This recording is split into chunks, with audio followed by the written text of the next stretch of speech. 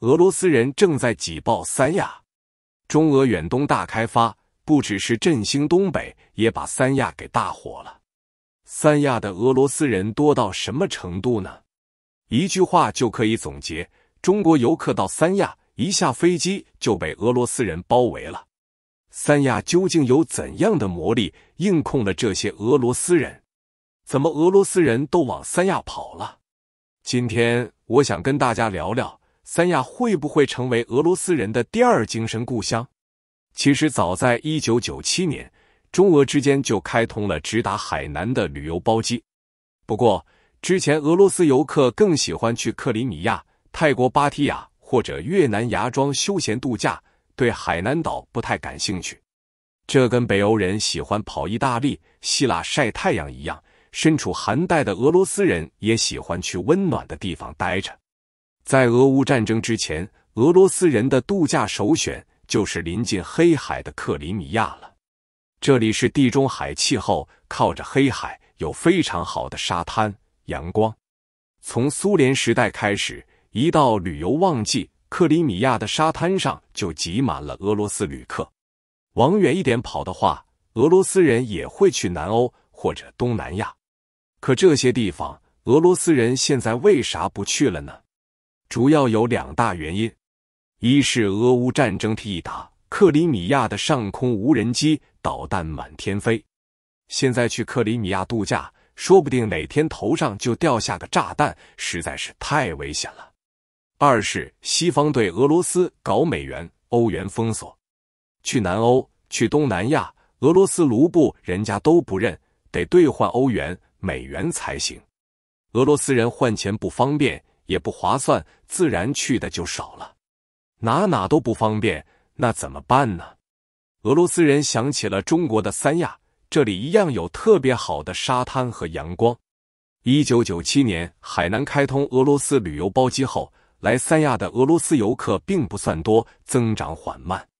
从二零一二年开始，俄罗斯人才慢慢发现了三亚这个宝藏海港城市。二零一二到二零一九年。俄罗斯都是三亚市的三大国际客源地之一，光是二零一九年就有三十万俄罗斯游客来三亚度假，今年就更火爆了。三亚的沙滩、商场、小餐馆、按摩店等都被俄罗斯人挤满了。一方面是因为俄罗斯被西方制裁，另一方面也是三亚政府接住了这波西方送来的流量。二零二三年三月。五十九国游客就恢复免签来海南玩了。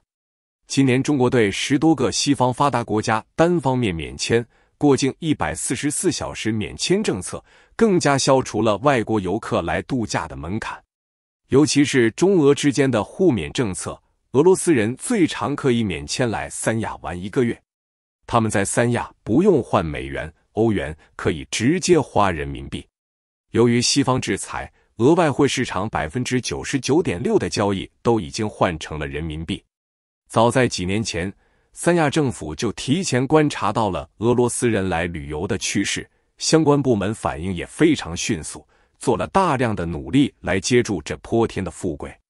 比如，三亚每年都安排旅游警察去莫斯科交流培训，为的就是俄罗斯游客能安心来旅游。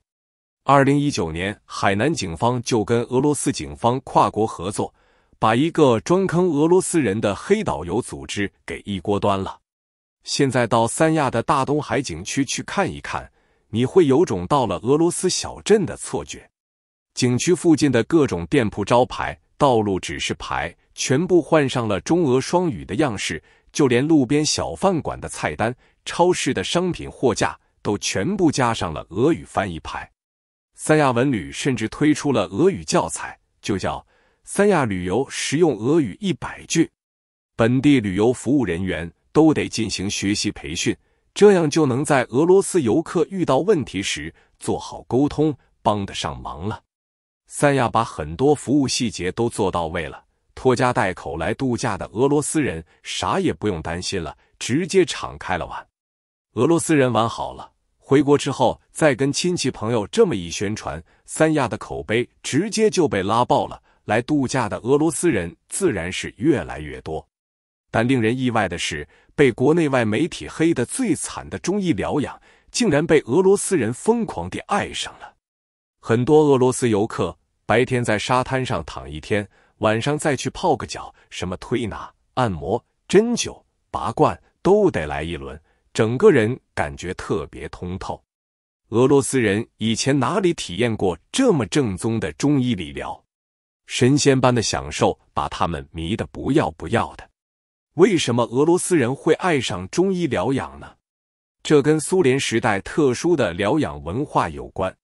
列宁曾经说过：“不懂得休息的人是没办法更好工作的。”一九二零年，列宁颁布了全民性的度假制度。叫《关于利用克里米亚慰劳劳动人民法令》。一九二二年，苏联也把强制度假写进了劳动法。作为配套，苏联开始大量建设疗养院，主要集中在气候温暖的苏联南部，像黑海、里海沿岸以及高加索山区等。尤其是克里米亚，就以大量的疗养院而闻名。比较出名的有德鲁兹巴疗养院，因为规模大。建筑造型十分奇特，一九八五年还闹了个乌龙事件。当时美国人用卫星一看，吓了一跳，以为苏联突然冒出了个大规模导弹发射井，紧张的不行。调查了半天，才发现虚惊一场。苏联为什么建大量的疗养院呢？因为按照法律规定，所有苏联人每年都必须在疗养院里休息两个星期。这段时间，苏联人啥也不用干。放松心情，享受度假就行了。大家可以拖家带口一起来，反正费用全都是苏联政府来买单。苏联也有他们自己的养生学，核心强调的是利用自然元素来调养身体，让人休息得更好。比如到深山里呼吸新鲜空气，采日月之精华，或者用一些草药来增强身体机能等等。苏联民众在申请疗养度假的时候。会有专门的医生来问诊，帮大家对症下药，选择最合适的疗养方式，比如电疗还是盐浴，或者是矿物质水泡澡，还有石油泡澡等等方法千奇百怪。苏联的疗养院也有很多娱乐活动，国内天南地北的人能在这里互相认识，享受假期。疗养文化主打的就是放松，大家纯粹就是来度假。顺便来看看病，调养一下身体。苏联存在的六十九年里，这样的疗养文化早就根植到几代俄罗斯人的血脉里了。苏联解体后，大大小小的疗养院基本都被废弃了。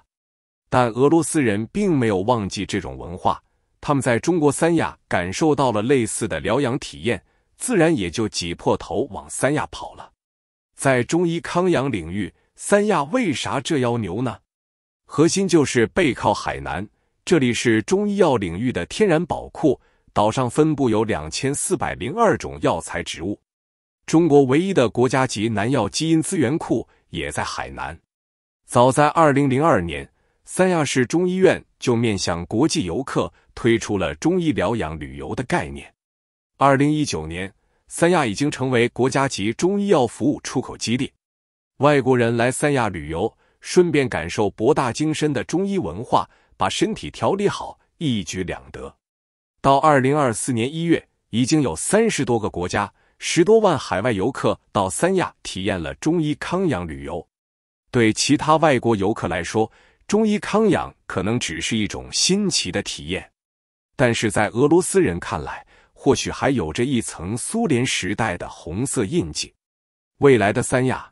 将不仅仅是俄罗斯人偏爱的宝藏旅游城市，也可能成为缅怀苏联的第二精神故乡。